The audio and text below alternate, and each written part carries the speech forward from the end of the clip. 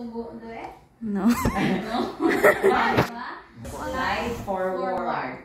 And then, off the knob, turn off the LPG. I would do that instead. You, Then it's also done.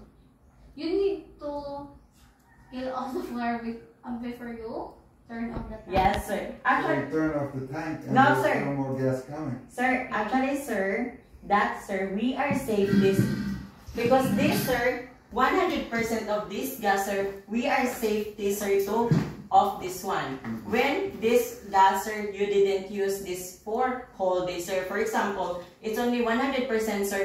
Even though you will uh, put uh, some lighter and it will get fire, it will not be uh, what is that bomb because sir this one sir it's fully 100% but if already used sir for um yes so that's the causes sir of uh fire sir because sir when you are just we, you are safety only sir to off this one if your tank sir if this is 100% Four. but if you are using only for one week or one day even to to optimize the fire You know when they fill that, that it's only filled for 80%. yeah. example you are using only for one one week or two days